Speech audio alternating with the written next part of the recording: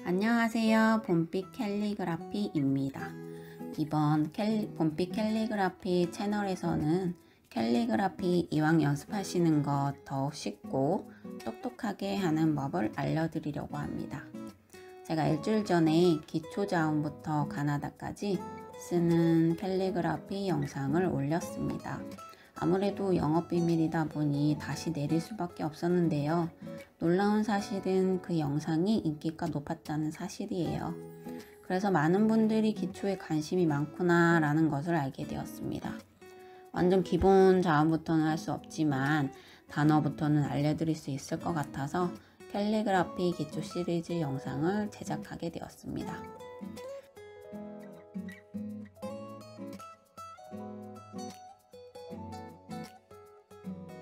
오늘 쓸 단어는 봄, 여름, 가을, 겨울로 시작하는 13개의 단어입니다. 쓰는 모습을 보여드릴 테니까 한 개씩 쓸 때마다 같이 써보면 좋겠어요. 그리고 다 쓴 후에는 영상이 끝나자마자 네이버 검색창에서 봄빛 캘리그라피를 검색하시거나 제 영상 설명란에 링크 걸어놨으니까요. 네이버 블로그에 올려놓은 체분을 보시고 집에 계실 때 연습하시면 됩니다.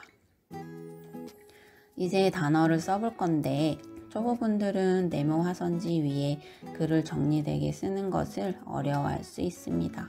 그래서 가로 밑선에 맞추어 써보기 위해서 빨간 선을 그어 놓을 거예요. 화선지에는 희미하게 보이는 실선들이 있는데 초보 시절에는 서체의 모든 집중을 모으느라 가로 실선을 볼 여력이 없습니다.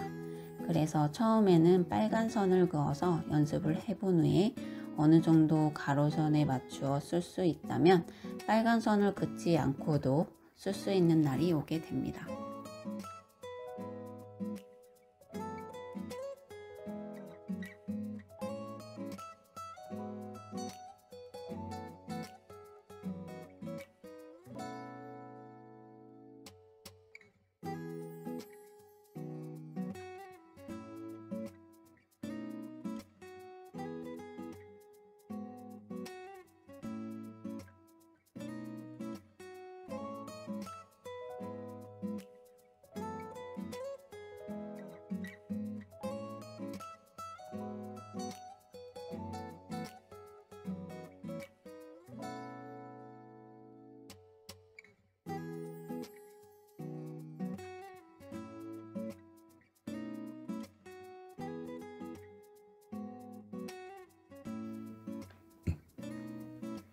그 다음 단계는 이제 가로 중앙선에 맞춰 써보겠습니다. 가로 중앙선에 맞춰 쓸 때의 장점은 보다 자유롭게 글을 쓸 수 있게 되고 더 얼매이는 게 없기 때문에 더욱 매력적인 글씨가 나오게 됩니다.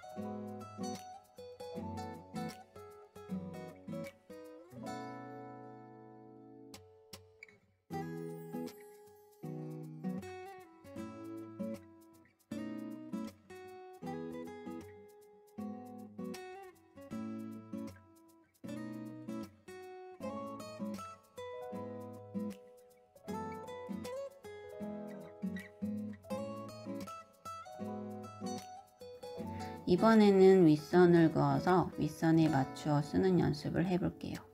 제가 이렇게 세 단계로 써보는 이유는 향후에 문장을 쓸 때 구도 만드는데 엄청난 영향을 끼치게 되기 때문입니다. 이 단계 없이는 아름다운 구도로 표현을 해보는 것이 불가능하게 돼요.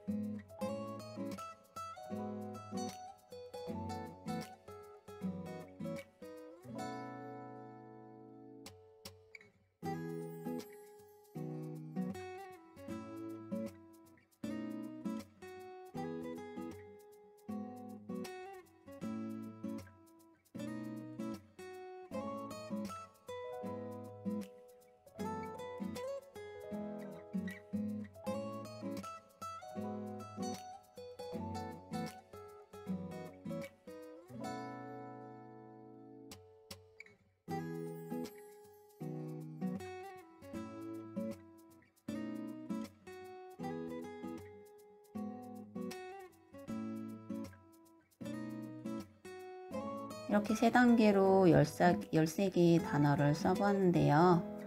새로운 단어를 쓰기보다 같은 단어를 반복해서 써보는 것이 실력 향상에 큰 도움이 된다는 점 잊지 마세요.